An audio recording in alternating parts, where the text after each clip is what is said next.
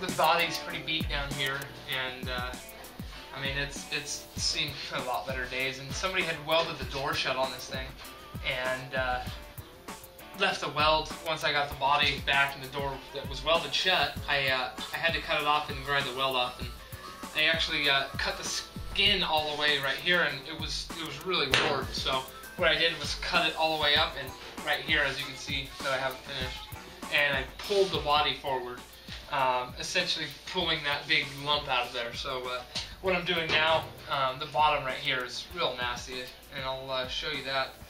It uh, needs to be replaced, and I uh, got some metal panels made, the bead roller, and uh, basically I'm going to use the existing fender well and cut this piece out and weld this one in and hammer weld it and make it just like it was new.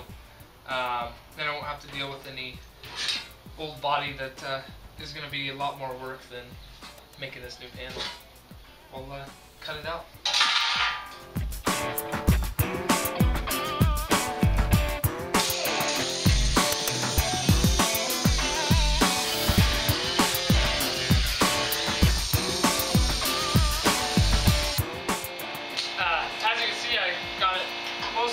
Cut out, and uh, just gonna get the back off and uh, all the stuff that's been stuck in there for 80 years. 1952 dime. Uh, it's pretty cool. Uh, this was an old dry lakes car, so that probably fell out of the guy's pocket and fell into this, into this quarter pa- panel. It's, uh, that's a keeper. I'll throw it back in the quarter panel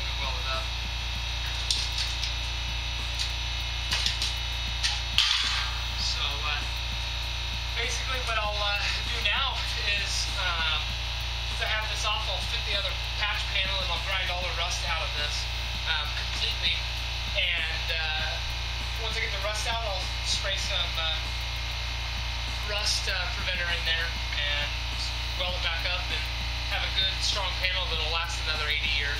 And uh, won't use too much filler. I try to avoid using filler. I like a lot of metal work and uh, a nice uh, coat of high flow primer works usually and uh, does the job well. So we'll uh, get this thing fitted good and uh, get it going.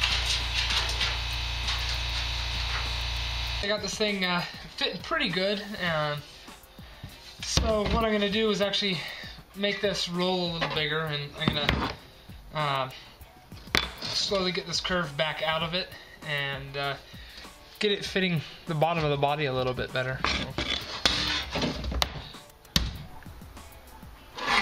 I'm gonna tighten this curve up a little bit. Make this panel a little more curvy and uh, we'll get her buttoned up and ready to go. So basically uh, it's fitting somewhat okay and uh, it's just real flat and I kind of want to make a real slight curve to it and that's how the bodies were originally. Um, some of them were flat and beaten flat over the years so uh, I'm to go ahead and take this off and take it to the sugar stretcher and stretch it. So here's the uh, patch panel that I uh, have made for the quarter panel and uh, you can see that it's just super flat and the body does have a slight curve to it and uh, what it'll do is make this curve fit the body a little better instead of having to hammer it all out and fight it basically so what I'm going to do is stretch it with my stretcher and uh, basically it grabs the metal and pinches it together to cause a curve.